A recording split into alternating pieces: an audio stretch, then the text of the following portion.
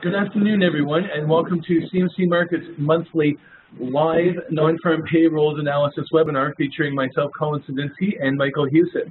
We're, uh, we're here today to uh, discuss non-farm payrolls, but there's also a lot of other things to talk about. It's been a really busy day for news in the markets. We have a uh, We've had the UK uh, election results. We've also had trade data from uh, from China. So there's a uh, really a lot going on, and let's jump right in. I'm going to start off with our, uh, our disclaimers. Our, uh, we'll read our WIS warning here. Uh, we'll start. This video is for general information only and is not intended to provide trading or investment advice or any personal recommendations. The information in this video is indicative and may become out of date at any given time. CMC Markets shall not be responsible for any loss that you incur either directly or indirectly arising from any investment based on any information in this video. Past performance does not guarantee future returns. Spread betting and trading CFDs can carry significant risk due to rapidly moving markets and may not be suitable to all investors. Losses can exceed your initial deposit. We therefore recommend you seek independent advice and ensure you fully understand the risks involved before trading. You do not own or have any interest in the underlying assets.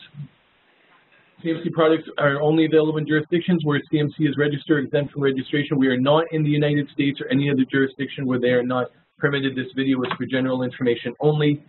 And uh, CMC Markets Canada is a member of IIROC and CIPF, and uh, we act as dealer and agent of CMC Markets UK PLC. CMC Markets is an execution-only dealer who does not provide investment advice or recommendations. So that concludes that, and I will uh, I'll close out this here, and I'm going to just close out of this because I don't want these windows popping up. I should have done this earlier. My apologies.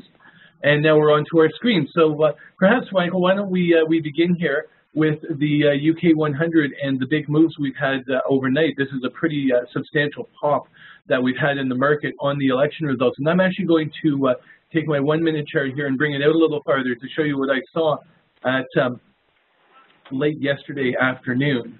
Let's just bring it a little farther here. With this big jump up at uh, yeah, I mean, I think it's important to put to the context of this move into what the expectations were um, 24 hours ago, when I think a lot of people were thinking that Ed Miliband um, would probably end up, um, you know, at least having a decent chance of becoming prime minister. The exit polls proved very quickly that that was so far from the truth to really not be that funny. But um, we saw a massive spike in the pound. The FTSE future, as we can see, also spiked higher. Um, and this morning, we've really, really kicked on. We've kicked on across a whole host of sectors, transport, banking, energy, um, and housing. And um, I think it just underscores how nervous markets were about certain elements of the Labour Party manifesto because essentially we've got every single FTSE 100 stock up today, bar one, and that's Pearson's owner of the FT, who I think is slightly left-leaning anyway, so that's probably the market's um, uh, revenge on the FT. um, FTSE 250's made a record high. Um, so what we're getting now is a bit of a relief rally on the back of what I would suggest is nine months, six to nine months of an awful lot of uncertainty and deadlocked polls. Yes, absolutely, and you can see here where I've circled when the uh, when the when the market closed, uh, sorry, when the polls closed yesterday at 10 o'clock p.m. in London was 5 p.m. Eastern time, and you can see pretty quickly right afterwards, this is a five-minute chart. Look at these two big gaps here, and then we just steadily trended higher right through the night. In the last couple of hours now, we've seen that seen it level off a little bit. We're back above 7,000 for the FTSE. This is about a 69.80 to let's call it 70.40 uh, trading range here for the uh, for the FTSE. So leveling off and is starting to uh, digest gains. Let's do cable while we're uh, while we're on this topic, Michael. I'll just pop it up here. And, uh, and it's showing us here also, again, we look at the daily chart. Uh, cable had been working its way higher coming up out with almost a double bottom back here. It was hanging around 152.15 when the polls closed. And, uh, and once again, you can see this big gap here. It really shot up when we were uh, when we were watching this right when the uh, when the polls closed. Uh, pretty quickly, these exit polls came out, and, and it's really intriguing because conservatives tend to poll low pretty much everywhere around the world. This isn't un uncommon. It happens here in Canada. It happens with the Republicans in the states. And, and, and, clearly with, with the conservatives in the UK and, and elsewhere. But uh, but I, this was uh, quite a surprise, really, when you uh, when you think about it.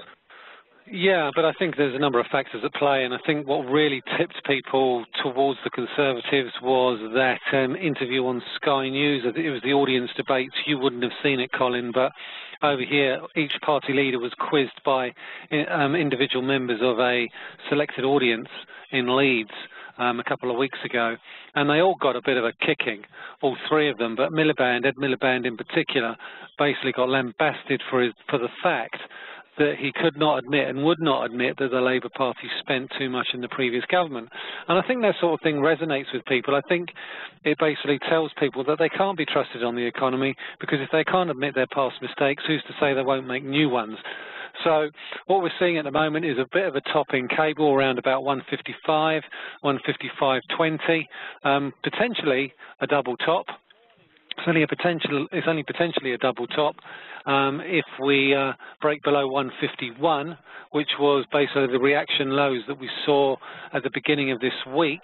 But at the moment, we've broken above the 50-day moving average. We're above the 100-day moving average. First time that's happened since May last year. And the next key resistance is the 200-day moving average, is around about 155.70, which is roughly um, around about the same sorts of levels that we saw um, I think earlier this year we've got three peaks. I think you've just drawn a line straight across the top there, Colin, um, around about between 155 and 155 and a half, pretty much where we are now. So that's a really, really key level there. And I think it's also important to mention that there's a dollar story in this as well. Um, Non-farm payrolls out later this afternoon. And um, it's all about expectations because this rally in the pound, I think, has also been um, a little bit of a rally in the euro as well. Um, we've seen euro dollar punch higher and potentially we could well go higher in that towards 115. At the moment, the euro dollar is suffering a little bit on the back of the stronger pound against the euro, and that's getting pushed down. But overall, that weak ADP number this week um, was the sixth successive um, not well, it, was a sixth successive monthly decline in annual jobs gained in the since November. Since November, the number of jobs added has been lower than the previous month.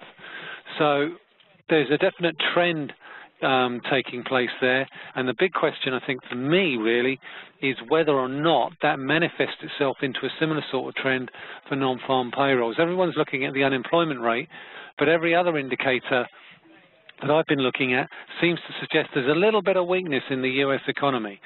So, you know, let, us I think we've got to look at what the expectations are. That March payrolls number of 126 was a real shock. So we'll be looking for a, rev a revision in that number, an upward revision. More importantly than that, the 224,000 number that we're expecting for this month could actually come in lower, or could we get a strong bounce back because of the weak March number? So these are all the factors that we've got to weigh up. We're expecting 220, 224. I'm calling it around about 181.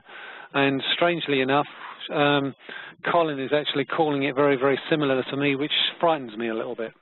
It's scary. You and I are pretty much exactly because I I called for uh, 180 and a a 10k upward revision to the previous month. So you and I, I think this is since we started doing this, this is the first time. This is the closest you and I have come in our estimates. I mean, we've been off by you know, the differences of say five or ten, but uh, this is the first time we've been we've been pretty much dead on, which uh, makes me wonder what's going to happen.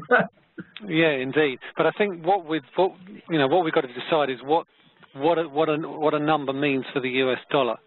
You yes. know, what a strong number means for the US dollar or what a weak number means for the US dollar. Certainly, I think the data that we've seen thus far this week, the trade balance, again points to significantly weak Q1. But more importantly than that, that weak ADP number for April, um, as well as other data that we've seen for April in the ISM manufacturing, also points to a weak beginning of Q2. So you, I think you can pretty much rule out a June rate hike, and I think the odds are and I think that the odds are diminishing potentially on a September one as well. But I think a lot will depend on obviously the number that comes out in about five minutes' time. Yes, and, and something I wanted to mention on that, Michael, is uh, keeping an eye on the on the stock market and the dollar because uh, for the first time in, in, a while we've seen this week that they've actually been going in the same direction. It used to be that uh, if you had like if say you had a weak jobs number uh, the economy would, uh, sorry, the stock, the U.S. dollar would go down, and the stock market would take off because they'd say, oh well, the Fed's going to put off uh, put off uh, tightening. But now what we saw, especially with the uh, ADP number, was that what ended up happening was the U.S. dollar, of course, went down on the Fed being pushed off, and the U.S. stocks went down because people started saying, oh well, does that mean the economy is slowing? What does that mean for corporate earnings? So the, uh, the it's changed a little bit there in terms of how the how the market's been reacting. We, we've gone up into this point, uh, into a position where the markets are basically going sideways. And, and what we've seen in, in recent months is that both bulls and bears have been able to take a reading out of, out of any number we got. So, for example, if we came in with another weak number, the uh, you could say that, uh, so the uh, the people that are bearish on the dollar would say, okay, well, the Fed's not going to raise rates anytime soon, so the dollar is going to go down. But in the stock market, do they take that as well? As is that good for liquidity, or is that bad for corporate earnings? And, and so we're seeing the markets kind of grind sideways. So it is possible you could see some choppiness and some trading in both directions off this news because nobody's really been able to take control of the markets for very long. We are in a sideways trend, and that makes it more of a uh, of a trader's market these days. And I'll just bring yeah. up the uh, the Dow very quickly on here yeah. to show we're what I mean. A, yeah, we're in a sideways range, which basically means, range. and we're flat bang in the middle of it. So at the moment, with respect to the S&P, we could go either way which leads me to stay a little bit clear of it because simply, simply speaking, it could go towards the top end of its range above 2110 or it could go to the bottom end of its range near 2065, 2060. So, but I think European markets are slightly different in that there does, does appear to be some evidence that we may have seen a top in the DAX. We posted a mm-hmm. bullish, but we posted a bearish engulfing week a couple of weeks, a few weeks ago on the DAX, and we also posted a bearish engulfing month on the DAX as well. And um, I did a video on that earlier this week. Um, we also did exactly the same thing on the German Bund, a, a bearish engulfing month and a bearish engulfing week. And it also coincided with a bullish engulfing month on euro dollar. So for me, there's a significant amount of correlation between DAX, Bund and Euro. And all of those indicators are telling me that we could potentially see a higher Euro over the course of the next few weeks and months and a lower DAX and a lower Bund. And I certainly think some of this week's price action has been symptomatic of, of those particular trades being somewhat one way, and we've seen a significant unwinding of that trade. Um, so, I mean, you, you, may have a different take on that, and certainly seeing UK markets are now starting to come off their highest levels of the day. They're slipping back. Um, so I think there's a little bit of profit taking coming off ahead of these payrolls numbers. But certainly a good number um, anything over and above 240, 250 is going to be dollar positive, which could see the euro and the pound push lower. Anything, I think, below 200 is going to be a disappointment and is going to be dollar negative. And I think that's something that um, you know we need to bear, we need to bear in mind when looking at the particular markets. For me, the key levels, I think, on on euro dollar is obviously um, roughly just below where we are now, around about 112.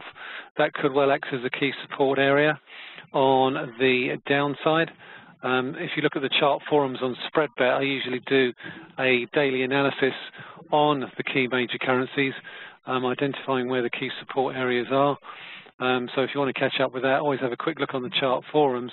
But certainly, I think there's a nice little channel line support on euro dollar coming in pretty much just below where we are right now, around about um, just just just below the one the 112 area. Okay, here we go. We have about 15 seconds to the uh, to the numbers coming out here. So I've brought back up the uh, the dollar index trend. There we go. There's the uh, U.S. dollar starting to drop. 111.70 is what I'm looking at as a bit of a support area. We're getting a little bit of a dollar weakness, and the number is okay. 223 non-farms, 85 revision, and a downward revision to March to 85,000. So that's a that's a really significant revision. So that's a significant downward revision, and then uh, and then and then the big rebound in April. And the and unemployment rate is 5.4. 5.4% as, as expected for the uh, for that. So we've got U.S. dollar dropping. It looks to me as though people are responding first to the um, to the downward think, revision. Yeah, the, Well, the dollar's gone slightly big. That out, because if you took that out, that's a 40k downward revision. So if you knock 40k off this, then you then you'd be at 180. So that's uh, yeah. So it still seems a little bit soft on on the soft side to me on balance. I'm going to bring up the S&P chart here and let's see what stocks are doing. So we are getting a spike on the S&P, but again, it's always done it. It's gone back to 2100 and been contained by the middle of this trading channel here. So if we look at the S&P, we've got a, it's a, a, a 2050, 2040 to 2120, and more recently it's been about uh, 2075 to again to about 2120. This 2100 level here for the S&P has been fairly significant and it's just barely gotten above it and kind of stalling out again. So let's take a quick look here at what the Dow is doing and then I'll bring up the euro dollar. So we've got the Dow, spike in the Dow, back up above 18,000, running into resistance about 18,090, slipping back into this 1850 to, uh, to 70 area. And now I'll bring up uh, euro dollar. Let's bring up euro dollar here. So again, US dollar weakness, spike in the euro. It's cleared 112.50 and is moving up into this 112.60 to 112.90 uh, kind of range. And let's bring up gold as well. Gold also jumping on the U.S. dollar. Had been steady above about 1184 to 1188. It's broken out over that. Back above 1190, settling out around 1192. Still short of 1200 on gold though. So gold is still uh, still struggling here in this uh, in the bottom half of this 1180 to 1220 uh, kind of trading range here. And I'm just taking a look here at the Canada jobs. Canada jobs was a loss of 19,000. And uh, we had, but again, we've got this mix here. We've got a 46,000 increase in full-time, 66,000 decrease in part-time. So a bit of a recovery in Canada jobs, and we'll just bring up uh, dollar CAD and, uh, and see what's going on with that one. We have dollar CAD is plunging, which is the U.S. dollar weakening. So it's taken out this uh, 120.90 back in and around 120.50 or 120.60. And if I look at the bigger chart here for dollar CAD, it's got this big support zone in and around 119, 119.50 to 120. You've got a round number, you've got a double bottom, you've got a Fibonacci level, 38% uh, retracement. So that's where you could see some uh, some support. But RSI is also showing the downtrend for dollar CAD does remain intact here. So uh, overall, it looks like the uh, the initial reaction has been uh, a dollar negative, uh, figuring that this will put off the uh, the U.S. the Fed from from raising rates in June to I, I say September at least. And I think Michael, you'd agree on that probably even later and because uh, you're still calling for next year, so certainly certainly nothing with the Fed before September. Knocking the dollar down, we are seeing the U.S. stocks bounce back, but they still seem to be contained within their uh, within their current trading ranges. We've also seen a downward revision to the January number from 239 to 201. So basically you've got a 38,000 downward revision to January. You've seen a 41 downward revision to um, March, and 223,000 is pretty much what we've got of a downward revision. Um, sorry, a downward, a slight downward miss um, on the on expectations for um, for this month as well. I mean, it's pretty much coming as expected. Unemployment's dipped, but the participation rate has actually um, has, has actually um, gone up ever so slightly to 62.8. So year-on-year -year wages have gone up to 2.2. We were expecting a rise to 2.3. So again, that's a little bit soft. So, so, all, uh, in all, so, all in, so all in all, it's been a little bit of a, what I would call a little bit of a, a disappointing jobs report. Looking at the headline, the headline numbers look particularly good, but the revisions um, have been disappointing on the downward um, slant in, in, the same way that ADP um, saw some significant downward revisions to previous months. So, you know, I think with respect to that, it paints a rather disappointing picture of the US economy in Q1. And I think it probably means that we're going to get downward revisions to Q1 GDP. But more importantly than that, we're not really seeing a significant bounce back in Q2. And I think that's more than anything, I think that's more than anything a little bit worrying, certainly in the context of dollar bulls, because everyone has been thinking about, well, it's not a matter of, um, you know, it's, it's not a matter of if, it's a matter of when. And now it's really a question of, well, actually, are we going to see one this year? And the odds on that seem to be getting pushed out. Although I know you probably would disagree with that, Colin. Uh, well, I do. I, do. I still think they're probably going to try and do one later in the year, kind of like what, what they what they did with tapering, where they got one in right at the end of the year to kind of say they did it this year. But uh, increase, but uh, certainly it looks to me like the case for June is is pretty much dead here, and um, I still think they may try and have a go at it later in the year. But we'd be looking now in, in the last three meetings of the year between September and uh, and December. Certainly not as uh, as early as it had been looking previously. I've been watching the. I think I've been watching the. Mer- I think September's looking a little. I think September's looking a little September's bit looking as well. too. yeah, it is. To be honest, like I said, I mean, we may end up in a situation where they squeak one in in uh, in December. December. And you and I have talked yeah. about this before, where you know, yeah. I, I, if they do it on December the fifteenth, and I, you know, I know you had said at the beginning of the year they won't raise rates at the beginning of the year. If they do it on December the fifteenth, that's still pretty good, pretty great call. Because yeah. only be off by two weeks. well, yeah, but they might raise rates from January the first. So in a that sense, too. might be right. yes. so I'm just watching the markets here, and and as we've been talking about how we're in a uh, we're in kind of a sideways trend for the market where nobody's really been able to uh, to take control very long. As we've been I've been watching how the, uh, the what the dollar and the uh, and the Dow have been doing.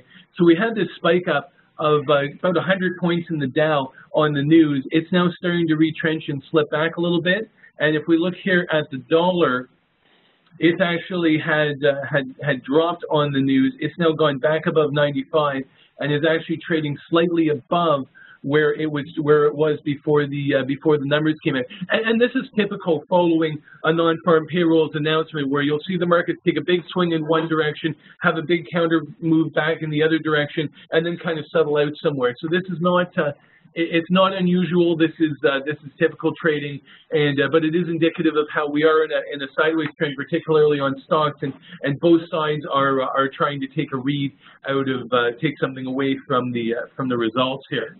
The uh, just showing the, the little longer term dollar index chart here, we have been in a bit of a downtrend, and uh, and essentially to me it looks like it's trying to kind of level off here in this 94 to 96 area. That's why we've seen it, this move on uh, back up to 95 It's really just a bounce back up into the middle for the uh, for the dollar index. Yeah, and I think I think it's important to think, you know, is this a dollar positive story? I don't think it is. It's not no, totally dollar negative. I think I don't think it's totally dollar negative because we've seen a significant rebound in the euro. We've seen a significant rebound in the pound, and dollar yen continues to look a little bit soft. And yeah, stock markets do look a little bit better bid. Treasuries look a little bit better bid as the yields start to fall. But it, I don't think this is a payrolls number that is really going to get the dollar selling off very, very quickly. At the same time, it's not going to send it skyrocketing higher. So I think what we're going to get today is more testing of the extremes of the range. So with mm-hmm. euro dollar looking at around 111.60, 111.70 to find a few bids down there perhaps, uh, and maybe retest the highs. Obviously, that's going to be driven by what happens over the course of the next few days with respect to Greece, which, given all the news flow that we've seen today, has taken a little bit of a back seat um, just for a change, and it's a pleasant change, I have to say. But next week on Monday, we're going to be much more focused on Greece again, simply because of the Eurogroup meeting that comes about on Tuesday. So, you know, while we look at this this this number that we're currently seeing at the moment, it is important. By by, by Monday, everyone will have forgotten it, and they'll be moving on to something completely different. One thing I saw on Twitter earlier this week was somebody saying if I had a dollar for every uh, Greece's doom story that I've read, I'd have enough money to bail out Greece. Well, that's very true, and I'm sure they'd welcome the extra cash. Indeed. Let's take a look at uh, at dollar yen here, Michael. While okay. we've, uh, oh, sorry. Did you want to say add something? No, I just want to have a quick look at the oil price, see what that's doing. Oh, sure. Why don't we bring up? Uh, you want Brent or, or Texas? Well, it doesn't matter. I mean, WTI is fine. Okay. Oh, okay.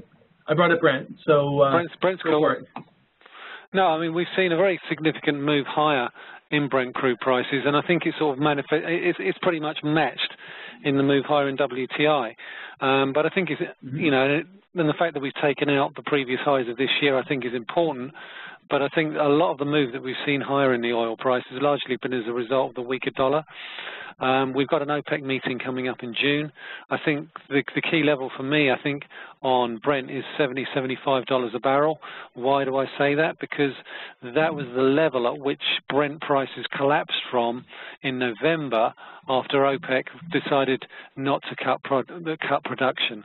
So that, I think, is going to be a natural barrier. So I think there is a perception that we could well be near a near-term top in crude oil prices. In WTI, that's probably going to be around about $65 a barrel, and I would suggest it's around sort of $70, $75 a barrel in Brent because I I think there's a number of uh, shale operations ready to come back online in the event shale prices or oil prices go back above $65 a barrel. You may have a different view on that, Colin, because you're nearer to it, and the oil fields of North Dakota, which are yeah, basically on the Canadian border. To come back. Yeah, there, there's several million barrels a day that's just ready to come back on online at a moment's notice. So I think that will uh, contain any kind of a, uh, a meaningful rebound. And, and, on top of that, it's important to remember that when we did see the uh, the U.S. start to cut back production, the Saudis just sopped it all up. They they ramped up production, and basically the increase in Saudi production was more than the decrease in U.S. production. So we're still in this market share war where whoever does blink and decides to cut first is more likely to find that rather than bringing down total supply, they're more likely to find that somebody else is just going to go in and take that away from them, which also is making things difficult. But on top of what I, I've drawn in here this uh, channel between 70 and 75, and, and Michael mentioned. What's also interesting, sitting dead center of that is at uh, 72.50 is a 38% retracement of the decline from June to uh, January. So that's uh, a, a key Fibonacci retracement level as well. So that does look like a zone where you could A in the short term see it drawn to, but then B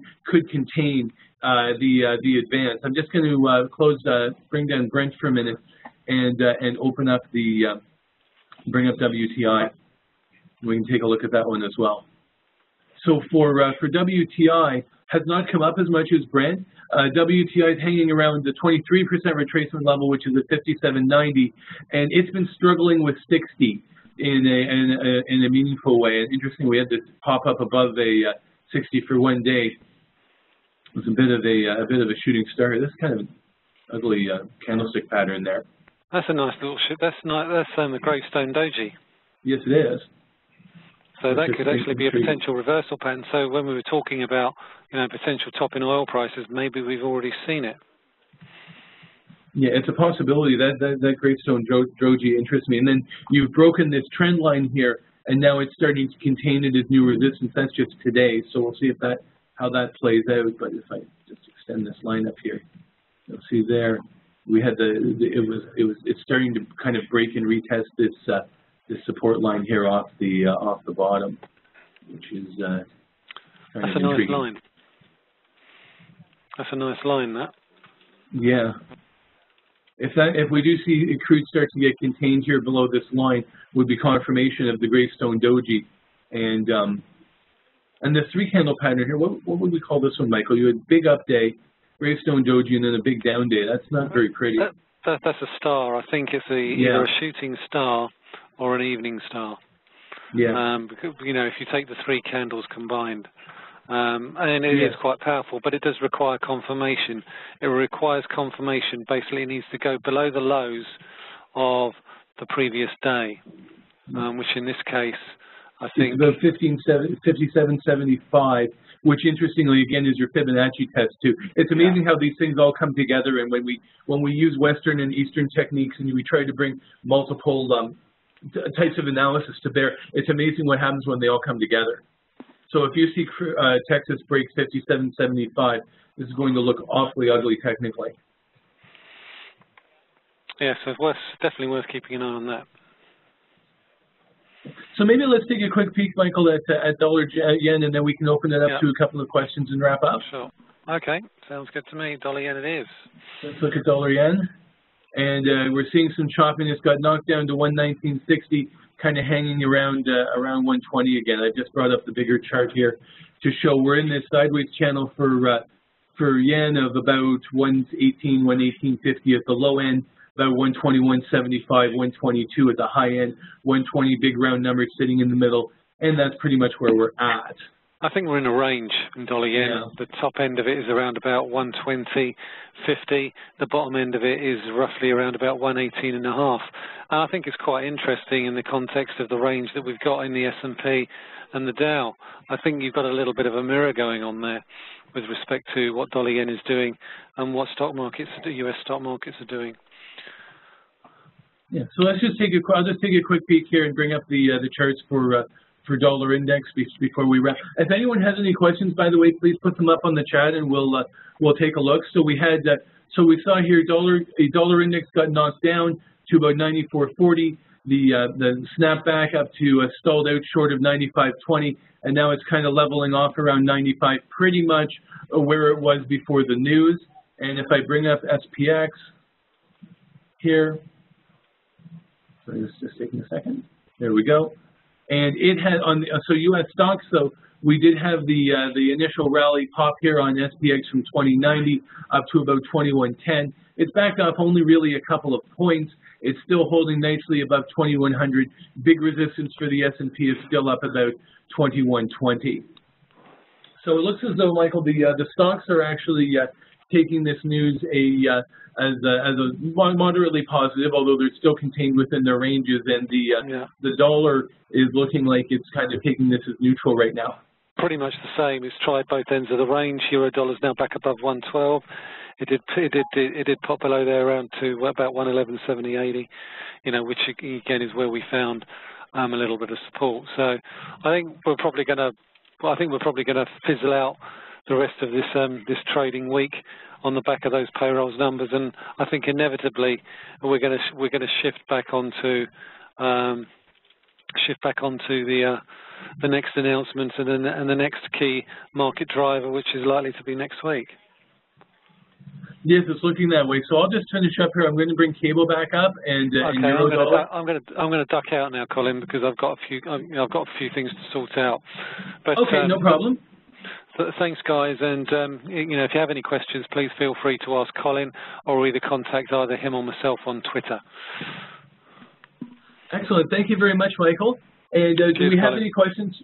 Cheers. Do we have any questions for anybody today?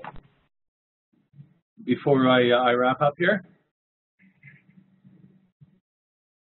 No questions? Okay, well, thank you all very much for joining us today. It's been a big week. We do expect to see uh, continued action in the UK markets in the wake of uh, yesterday, last, last night, and today's uh, election results. And, uh, and as Michael said, there's certainly uh, more going on in, uh, in Europe next week, so we could, we could also continue to see some uh, some positioning relative to that. We uh, we may see some uh, trading back and forth this afternoon on the the oil price. We do have the rig count for the U.S. coming out at 1 o'clock p.m. Eastern Time, which is 6 o'clock p.m. British Summer Time. And, uh, and that's the main one. Okay, sorry, I do have some questions here. Gold is in an inverse head and shoulders. Yes, it is. And Kiwi dollar is in the double bottom on the weekly, and so is the euro dollar. Why isn't the D dollar index falling? So I'll, uh, I'll just quickly here, I'll show, we did talk about uh, gold. I'll show the inverse head and shoulders here. Which I actually do have marked out on my uh, on my chart here. So we do we've had a left shoulder here around 1180, the head down around 1140, and we've carved out a bit of a shoulder here around 1180. The neckline is at 1220, and uh, and gold is kind of struggling here to uh, to get much higher. And uh, but we have seen, and, and really considering how much the U.S. dollar has weakened, we are seeing that gold is is really struggling to make much headway. Uh, despite that, if I bring up uh, Kiwi dollar here, which I'll be happy to talk to. I'll also show Aussie dollar because I haven't shown that one yet. We did have a nice double bottom on Kiwi dollar. We've seen a rally up. We actually got a smaller double top here, and it's been backing away from it. We're uh, we're sliding back towards 74 cents. So 74 is the retest here. We've seen Kiwi dollar actually break this uh, this momentum line here. So we had uh, upward momentum on Kiwi dollar. It broke 50 and it broke this trend line. It's turning downward. The momentum's been turning downward. The, the test here now is at 74. If it holds 74, then we are seeing still a, uh, a base building pattern. If it fails 74, we could get a retest of these lows back near about 70 cents again.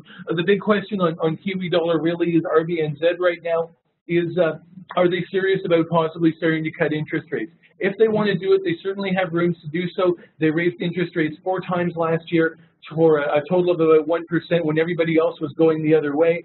So uh, they do have room, and I think that's what's containing Kiwi dollar right now. Uh, on the on the flip side of that was the uh, the rebound we've been getting in uh, in Aussie dollar, which I'll just show here briefly over the last couple of days. Similarly, we had a, a, a, double bottom here, almost a triple bottom in Aussie dollar. It's, however, been able to maintain its momentum and, and has kept going, working its way higher. The 78, 78, 30 has become a, a higher support zone, and it's basically been holding up. Currently, rallies for Aussie dollar contained in this 80, 60 to 81 area.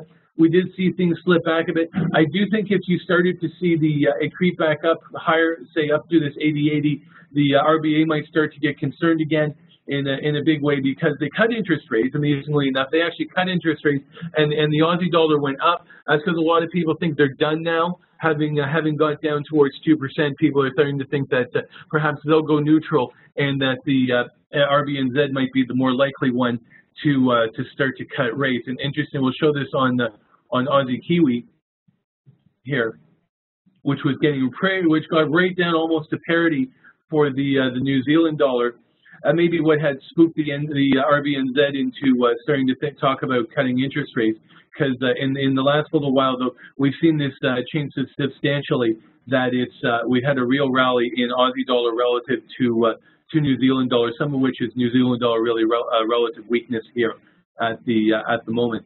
And sorry, the other one we had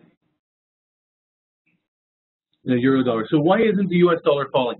Uh, going back to this, I think what we're seeing is uh, is overall here that the uh, U.S. dollar has probably has already come down in the last couple of weeks from 100 down to 94.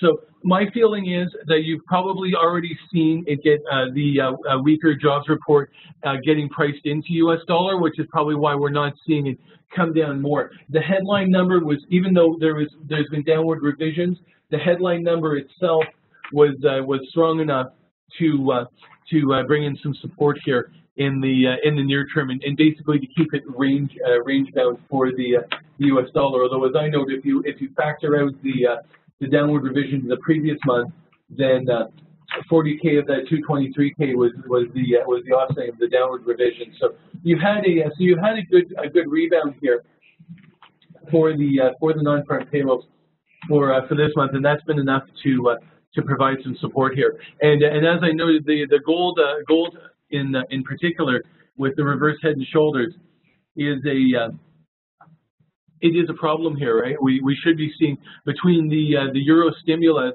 and the weakening euro dollar, U.S. Uh, dollar, gold should be uh, should be blasting through that 1220, and it's just not at at this point in time. So it's one we've got to keep an eye on. It's it's gone range bound like a lot of other markets. Do we have any final questions? Okay, I'm going to conclude here then. Uh, as, as, Michael noted, feel free everyone to uh, to contact us on Twitter if you have any more uh, questions after the call. We'd like to thank you all very much for joining us. Michael and I will be back a little later this month with our uh, monthly analyst debates conference call, and then back again uh, next month for U.S. non-farm payrolls. Have a great day of trading, everyone.